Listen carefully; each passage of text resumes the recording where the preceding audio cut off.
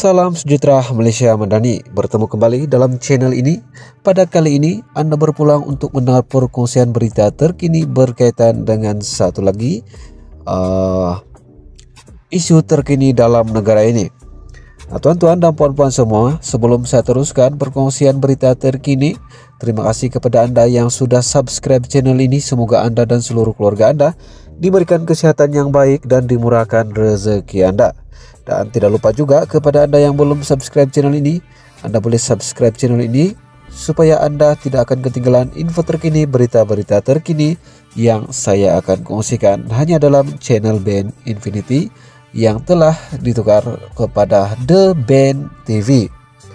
Tuan-tuan dan puan-puan semua tanpa membuang masa lagi saya akan teruskan perkongsian berita terkini di mana Perdana Menteri Datuk Seri Anwar Ibrahim hari ini pertahan kelayakan Nurul Izzah sebagai penasihat keuangan ekonomi. Di mana Perdana Menteri Anwar Ibrahim mempertahankan kelayakan Nurul Izzah untuk menjadi penasihatnya dalam soal ekonomi dan keuangan. Dan ia selepas dia ditanya sama ada anaknya itu yang memegang ijazah serjana mudah dalam jurusan kejuruteraan layak atau tidak untuk memegang jawatan itu. Anwar berkata Nurul Izzah juga memiliki ijazah dalam dasar awam dari Johns Hopkins School of the Advanced International Study. Pemeriksaan ke atas profilnya mendapati ia merupakan ijazah peringkat sarjana. Anwar yang turut memegang portfolio keuangan berkata dia juga tiada kelayakan formal dalam bidang itu. Dan begitu juga dengan ramai pemimpin Perikatan Nasional yang pernah memegang jawatan menteri. Dan untuk rekod, Anwar merupakan pelajar jurusan pengajian Melayu ketika menuntut di Universiti Melaya. Menteri daripada PAS bersatu juga tiada kelulusan dalam bidang masing-masing dan adakah benar seseorang menteri kesihatan mesti seorang dokter ataupun menteri air kena sebagai jurutera? Itu soalannya ketika sidang media di Tambun Perak hari ini. Nurul Iza memaklumkan dia menjadi penasihat kanan ekonomi dan keuangan kepada Anwar beri kuat kuasa uh, 3 Januari lalu dalam wawancara bersama Desta yang diterbitkan hari ini. Ditanya berkenaan perkara itu, Anwar membalas apa yang penting sekali, termasuklah untuk saudara Peja. Hentikan curi tanah, balak, saham, proyek, dan komisan ini yang jahanamkan negara, kata Anwar.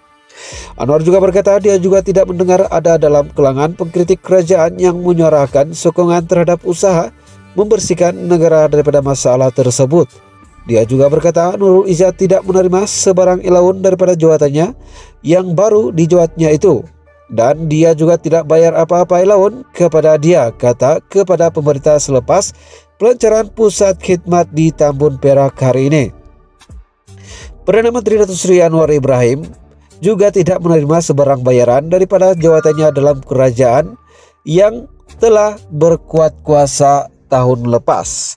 Tuan-tuan dan puan-puan semua ini adalah satu lagi kenyataan dan isu terkini berkaitan dengan isu perkembangan semasa dalam negara ini di mana hari ini uh, satu wawancara bersama Perdana Menteri yang mempertahankan kelayakan anaknya sebagai penasihat ekonomi dan keuangan.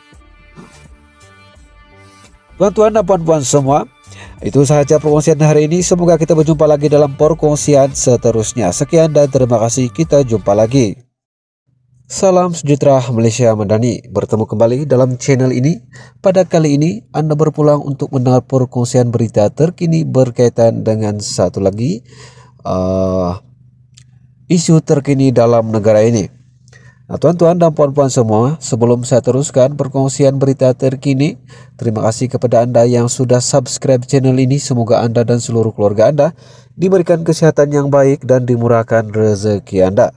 Dan tidak lupa juga kepada Anda yang belum subscribe channel ini, Anda boleh subscribe channel ini supaya Anda tidak akan ketinggalan info terkini, berita-berita terkini yang saya akan kongsikan hanya dalam channel Band Infinity yang telah ditukar kepada The Band TV.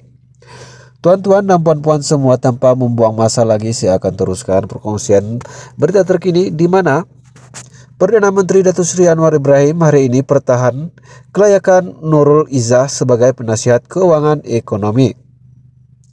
di mana Perdana Menteri Anwar Ibrahim mempertahankan kelayakan Nurul Iza untuk menjadi penasihatnya dalam soal ekonomi dan keuangan.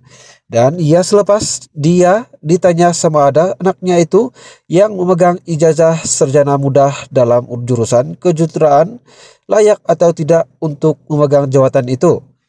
Anwar berkata Nurul Iza juga memiliki ijazah dalam dasar awam dari Johns Hopkins School of the Advanced International Study. Pemeriksaan ke atas profilnya mendapati ia merupakan ijazah peringkat sarjana. Anwar yang turut memegang portfolio keuangan berkata dia juga tiada kelayakan formal dalam bidang itu. Dan begitu juga dengan ramai pemimpin Perikatan Nasional yang pernah memegang jabatan menteri. Dan untuk rekod Anwar merupakan pelajar jurusan pengajian Melayu ketika menuntut di Universiti Melaya. Menteri daripada PAS bersatu juga tiada kelulusan dalam bidang masing-masing dan adakah benar seseorang menteri kesihatan mesti seorang dokter ataupun menteri air kena sebagai jurutera? Itu soalannya ketika sidang media di Tambun Perak hari ini. Nurul Iza memaklumkan dia menjadi penasihat kanan ekonomi dan keuangan kepada Anwar beri kuat kuasa uh, 3 Januari lalu dalam wawancara bersama Destah yang diterbitkan hari ini. Ditanya berkenaan perkara itu, Anwar membalas apa yang penting sekali, termasuklah untuk saudara Peja. Hentikan curi tanah, balak, saham, proyek, dan komisan ini yang jahanamkan negara, kata Anwar. Anwar juga berkata dia juga tidak mendengar ada dalam kelangan pengkritik kerajaan yang menyuarakan sokongan terhadap usaha membersihkan negara daripada masalah tersebut. Dia juga berkata Nurul Izzat tidak menerima sebarang ilaun daripada jawatannya yang baru dijawatnya itu. Dan dia juga tidak bayar apa-apa ilaun kepada dia, kata kepada pemerintah selepas pelancaran pusat khidmat di Tambun Perak hari ini. Perdana Menteri Datuk Sri Anwar Ibrahim juga tidak menerima sebarang bayaran daripada jawatannya dalam kerajaan yang telah berkuat kuasa tahun lepas. Tuan-tuan dan puan-puan semua ini adalah satu lagi kenyataan dan isu terkini berkaitan dengan isu perkembangan semasa dalam negara ini di mana hari ini uh, satu wawancara bersama Perdana Menteri yang mempertahankan kelayakan anaknya sebagai penasihat ekonomi dan keuangan. Tuan-tuan dan puan-puan semua, itu sahaja perkongsian hari ini. Semoga kita berjumpa lagi dalam perkongsian seterusnya. Sekian dan terima kasih. Kita jumpa lagi.